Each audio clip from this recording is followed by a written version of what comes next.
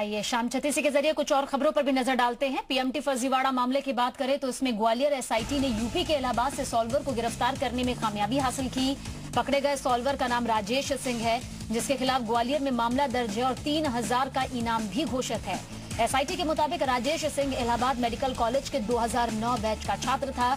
राजेश ने जीआरएसी के 2009 बैच के छात्र अरुण यादव की जगह सॉल्वर के तौर पर भोपाल सेंटर में पीएमटी की परीक्षा दी थी। पीएमटी सरगना दीपक यादव के कहने पर राजेश सिंह ने एक लाख रुपए लेकर अरुण के लिए परीक्षा दी थी।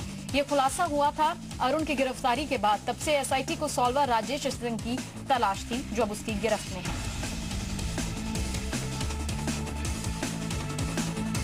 पीएमटी फर्जीवाड़ा कांड में आज पुलिस को एक बड़ी सफलता मिली है। और ये अरुण यादव, जो कि 2009 बैच का संदिग्ध छात्र था, उसका सॉल्वर राजेश कुमार सिंह निवासी इलाहाबाद को एसआईटी ने गिरफ़्तार किया है।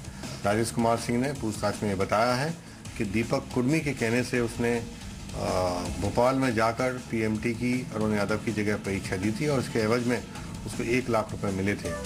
राजेश कुमार सिंह पर तीन हज़ार रुपये का इनाम भी घोषित था और पुलिस इससे और भी पूछताछ कर रही है।